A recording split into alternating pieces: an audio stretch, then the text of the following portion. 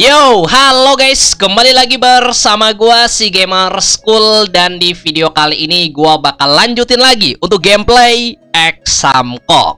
Nah, gua bakal bahas mengenai guide fitur terbaru yaitu wilayah Jiuzo. Akhirnya fitur yang satu ini sudah terbuka juga. Soalnya dari kemarin-kemarin gua nunggu banget guys ya kapan fitur ini rilis. Soalnya pas kemarin gua cek itu harus nunggu sekitar dua hari waktu server atau tiga hari waktu server ya, gua gak lupa. Dan tahu-taunya pas gua coba login tadi siang, ini sudah terbuka coy. Oke, kita bakal coba grebek fiturnya kayak gimana. Apakah worth it guys ya? Kalau menurut pendapat gua udah pasti worth it banget. Bang, di fitur yang satu ini apakah disuruh gacha-gacha lagi? Jawaban gua, ya bakalan gacha-gacha lagi guys. Soalnya nanti di sini bakalan ada artefak dan kalau misalnya kalian dapetin tiga artefak, guys ya, yang mungkin kalau menurut gue tipenya itu sama, kalian bakalan bisa dapetin efek skill. Yang kayak gimana bang untuk efek skillnya? Nanti gue bakal bahas lebih ke intinya. Oke, kita bakal bahas dulu dari segi tantangannya dulu ya, yang paling simple.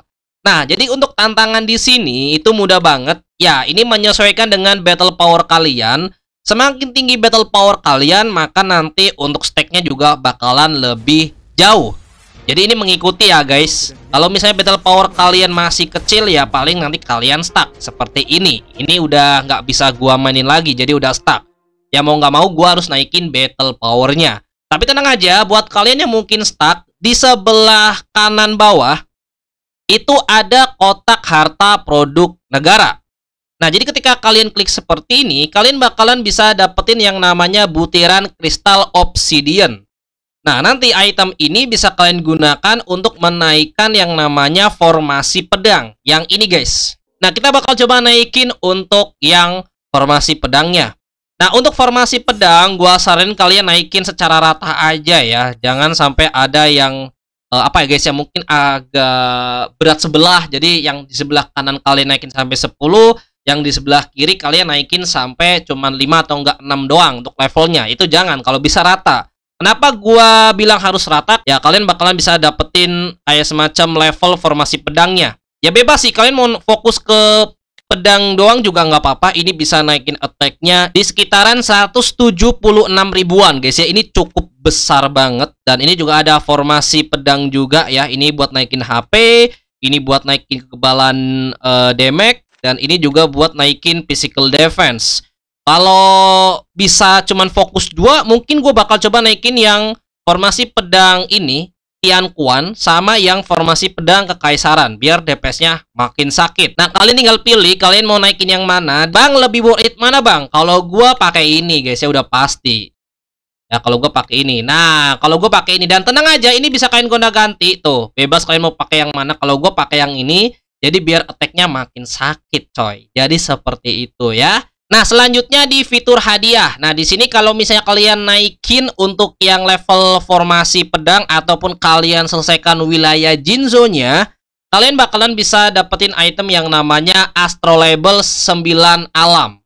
Nah, item ini gunanya nanti buat gacha, guys ya. Kalau misalkan punya item banyak, ini bisa kalian gunakan guys. Kita bakal coba masuk di koleksi. Nah, ini dia. Ini yang namanya artefak senjata. Gua sebut artefak senjata aja ya. Kalau misalnya kalian dapetin tiga artefak yang di atas, itu kalau misalkan udah aktifin semuanya guys ya, kalian bakalan bisa dapetin efek skill. Dan efek skillnya ini apa guys? Nah, ini dia guys ya. Setiap kali menerima damage ada 10% peluang membuat 30% damage kali ini berubah menjadi tambahan HP. Dan kalau misalkan udah terapin sampai bintang 5, itu efeknya bakal tambah banyak. Dan untuk yang di bawah, kalian tinggal baca-baca aja. Di sini setiap dibunuh oleh musuh ada 25% peluang menyerang langsung tewas. What? Beneran? Setelah dibunuh oleh musuh ada 25% peluang menyerang langsung tewas, coy. Ini kayaknya worth it sih, guys. Yang ini ya, ini kayaknya worth it banget coy. Penaklukan iblis. Oke, kita bakal coba lihat yang lain juga untuk skillnya. Mulai dari awal ronde pertama, pasti tidak uh, tindakan utama kalau di saat yang bersamaan membawa bakat dengan level bintang yang sama. Maka hero dengan power lebih tinggi akan diberikan prioritas dan tidak mengurangi kesempatan menyerang. Ya worth it sih. Tapi lebih worth yang ini guys, nomor 2 ini. Ini bagus nih. Tapi peluangnya itu 25% ya untuk di awal ya. Kalau misalkan udah masuk di bintang 5, wah gila guys, 100% tuh. langsung mati guys.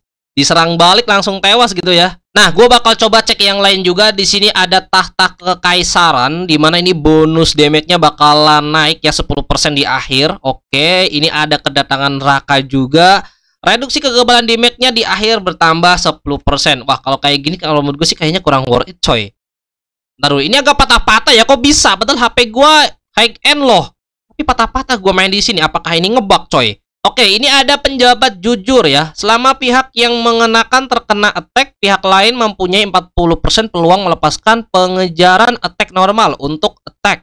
Agak bingung juga ya, setiap ronde maksimal dipicu dua kali.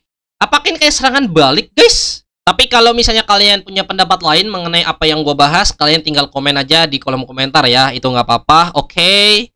Okay. Ini yang buat tadi guys ya, ini ada berjiwa berani dan lembut. Reduksi di Mac akhir PVP meningkat 9%. Oke, ini PVP coy.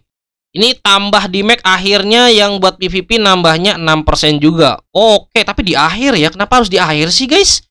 Kenapa nggak di awal-awal aja? Oke, ini dapat shield. Ini yang rencana dunia. Nanti kalian tinggal coba cek aja ya untuk masalah efeknya ya. Gua nggak perlu bahas semuanya. Nanti bakal lama banget. Nah, di sini gue sudah ada satu yang udah gue aktivasi. Nah, ini dia. Nanti kalau misalnya gue dapat presentasi HP dan juga attack-nya bertambah satu persen. Cuman ini kalau misalnya masuk di startup pertama, guys ya cukup kecil banget. Ya warna ungu, guys. Kalau warna ungu kalau menurut gue kurang worth it banget. Kalau bisa ya minimal minimal ya warna oranye, warna merah. Kalau misalnya kalian dapat satu, ya nggak apa-apa, terserah kalian ya.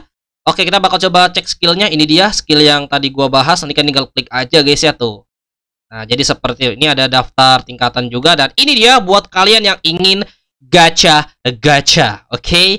Dan kalau misalnya kalian gacha mungkin melewati batas yang ada di sini tinggal 19 kali undian pasti dapat koleksi impian. Nah, gue bakal coba ambilnya yang ini dulu guys. Tugu mana tugu? Nah, yang ini guys, gue ambil ini dulu nih karena gue pengen coba dapat yang efeknya bagus ya. Cuman untuk gacanya ini gue tinggal dua lagi. Kalau bisa gacanya 10-10 aja guys ya. Gue saranin jangan satu-satu guys. 10-10 itu lebih enak. Nah ini gue tinggal dua lagi. Jadi gue nunggu aja nanti ya. Nah di sini juga ada kesempatan gratis. Jangan lupa kalian lakukan juga ya. Barangkali kalian perlu banget. Klik aja nggak apa-apa. Dan juga di sini ada toko koleksi. Nah kalau misalnya kalian kumpulin item yang namanya ledakan bintang. Nah, ledakan bintang ini didapatkan ketika kalian gacha. Jadi kalau misalkan gacha satu kali ya dapatnya cuma satu. Kalau misalkan gacha 10 kali, ya kalian dapatnya 10.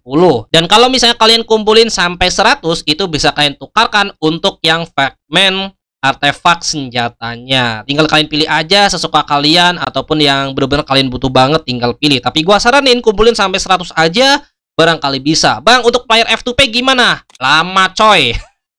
Kalau menurut gua bakalan lama. Soalnya di sini aja untuk farmingnya itu benar-benar luar biasa banget ya. Kalian benar-benar harus uh, naikin battle powernya. Kalau nggak bisa naikin battle powernya agak susah juga. Nah cuman itu aja. Dapat batu naikin formasi pedangnya. Nah yang ini tuh tinggal naikin ini aja sih guys. Kalau menurut gua ya udah cuman itu doang. Untuk ringkasannya kayak gini oke? Okay? dapat tambahan di nya 15% kekebalan di nya 4% apakah bakalan ada eventnya? Eh dulu juga. Biasanya pasti ada lah guys ya untuk event-eventnya. Dan ini kalau misalnya kalian selesaikan uh, capture dan juga stake-nya. Buset sampai capture 3 stack 40. Ini capture 2-nya banyak banget sampai stack 220 guys. Buset, banyak banget. ya, jadi itu guys ya untuk fitur terbarunya dan apakah worth it? Kalau menurut gua lumayan worth it. Ini lumayan buat nambah-nambah battle power hero kalian dan kalau misalkan dapat efeknya itu juga bakalan berpengaruh juga untuk line up kalian ketika kalian battle PVP ya. Oke, itu aja untuk pembahasan dari gua. Semoga aja kalian suka. Kalau misalkan ada tambahan ataupun yang lain, silahkan komen di kolom komentar. Nanti kita bakal coba lanjut lagi di next video ya. Sampai jumpa. Bye-bye. Yeay.